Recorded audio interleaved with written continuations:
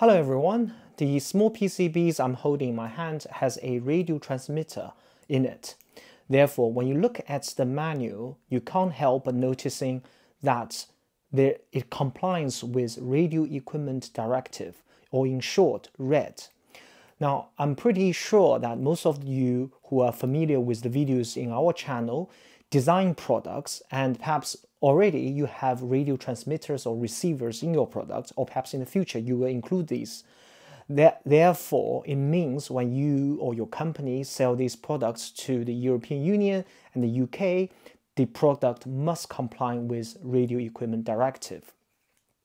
Do you also know that Radio Equipment Directive, in order to comply with it, the product must also meet the safety requirement, EMC requirement, and also the radio performance requirement? If, if your answer is no, then this video is for you. I'm not an expert in radio equipment directive, therefore I have selected a few bits from the presentation that Michael Derby, technical director of Element, did a few years back for the EMC and compliance conference. And I put them together and give you this episode, which is an introduction, the basics of radio equipment directive. And I hope you enjoy this episode and give us some feedback. Enjoy. What defines a radio equipment or when does the radio equipment directive apply to your product? Well, if your product has any radio function within it, whether that's a transmitter, a receiver, or a transceiver, and the frequency range of that radio is up to 3000 gigahertz, and that's down to any frequency, then it's a radio. And maybe it's uh, you've designed it to be a radio, or maybe you think you've made a product and you've put somebody else's radio into it. In either case, it is therefore radio equipment because it's a piece of equipment with a radio feature inside it. Now, if you look inside the radio equipment directive, there are some types of radio equipment which are specifically exempt from the RED. For example, if you have radio equipment which is only for national defense or military use and, and can't be used um, in any other situation, um, then that would be exempt from the RED. Um, and there are a few other exemptions, but for the most part, for commercial and business and domestic uh, radio equipment, the Radio Equipment Directive applies. Okay, so the Radio Equipment Directive is a trade directive. It's not a technical document. If you start looking in the Radio Equipment Directive, you won't find terms like megahertz or dBm or watts. You won't hear tests, you won't hear spurious emissions, ESD, frequency tolerance, you won't hear uh, spectrum mask, and even uh, it doesn't mandate that you test. The directive is a document which allows radio equipment to be placed freely on the European Union um, and to provide a harmonized approach to putting the radio equipment on the market. And it also clearly specifies the responsibilities from manufacturers, importers, distributors, etc. However, within the Radio Equipment Directive, there is a requirement for a technical assessment of the radio equipment. And this is referred to as the essential technical requirements. It's in Article 3 of the Radio Equipment Directive. So that's about as technical as the RED gets, where it tells you um, that the product must have a technical assessment. And it breaks those into um, different parts. Article 3 is split into three parts, and I'll come on to that in a moment. There's one authorization route for compliance with the RED, and that's a declaration of conformity. There is no certification for the red.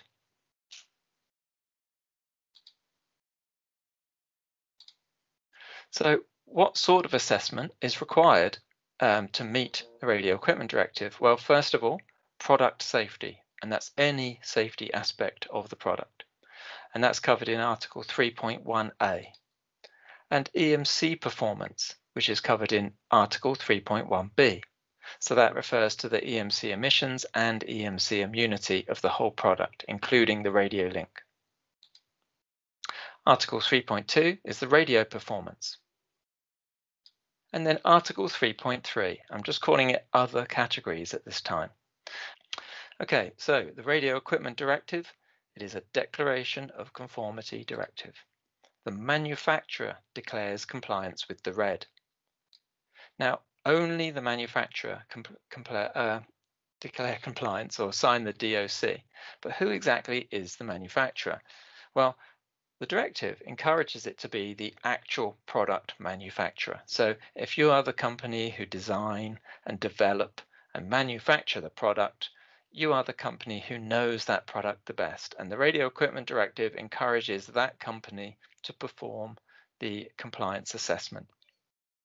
Now, if you design and manufacture a product and you have an idea for a product, but you subcontract the actual soldering and construction part to perhaps a factory in the Far East, for example, then the factory in the Far East does not become the manufacturer. They're just soldering the parts together that you've told them to solder together. The person who, or the company who developed and designed and worked on that product and brought it to uh, fruition, they are the manufacturer. However, from a legal point of view, it's the company whose company name or brand is on the product. They are the legal manufacturer. So the declaration of conformity is always created and signed by the company whose name is on the product. And in most cases, that is actually the manufacturer. But it's important to note that if one company rebrands somebody else's, or if you manufacture a product for somebody else, then it's the company whose name is on the product who must sign the declaration of conformity and take the legal responsibility. There's also legal responsibility on the importer and distributor. If the manufacturer of a radio equipment is outside the EU, for example, in the USA or China or the UK, then an importer in the EU is required. You don't need an authorized representative in the EU under the Radio Equipment Directive, but some company is going to be importing that device and putting it on the market. And they need to add their company name and address and contact details to your equipment, either to the equipment itself or more likely to the packaging. And they take legal responsibility for the product they import in addition to the manufacturer and also if any other company distributes the equipment around the EU. So for example, if you've got a manufacturer who manufactures a product, maybe they're in the UK, they sign the declaration of conformity. The product then gets imported into the EU, let's say for example in the Netherlands, so the importer at the first place that it reaches the EU, they are responsible for the importation of the uh, compliance of the uh, product they import and then a company who distribute it, distributes it around the EU is also responsible for the compliance of the product that they provide. Okay, so one declaration of conformity document applies to the final product, and that DOC covers all aspects of the device. So in a lot of cases, only one directive may seem to apply, but in reality, it might be more than one.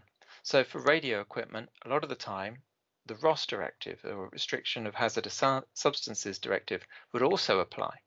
And if it's also a machine or a medical device or a, a toy for a very young child, then additional directives may apply. And all of the applicable directives must be listed on the one declaration of conformity with one signature. And as a reminder, there's no red certification. There are other directives where a, a type approval is required, but the red is not one of them.